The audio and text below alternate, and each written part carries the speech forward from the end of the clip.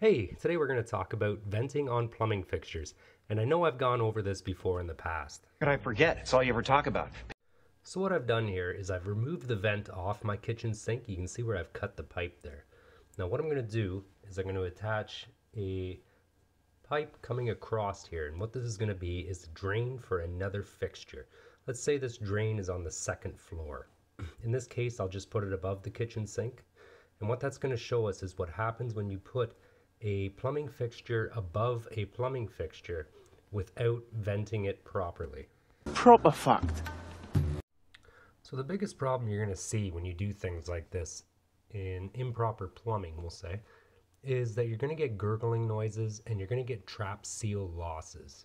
So what a trap seal loss is, is when you lose the water in a P-trap. Now a P-trap is basically your only line of defense against sewer gases.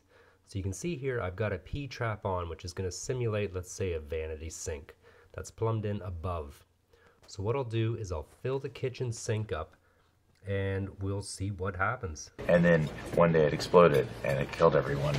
Alright, so just to go over one more time what I've done here. Let's pretend this is a vanity sink.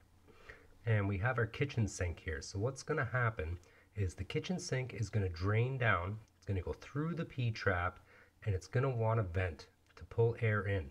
Now we don't have a vent. So let's see what happens when we pull the drain. So I'll shut up here and you can hear the noise it makes.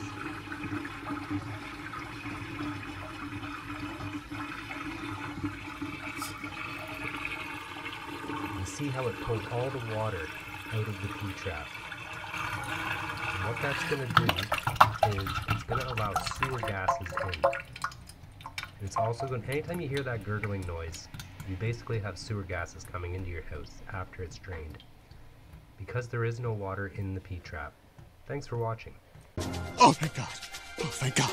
It's over.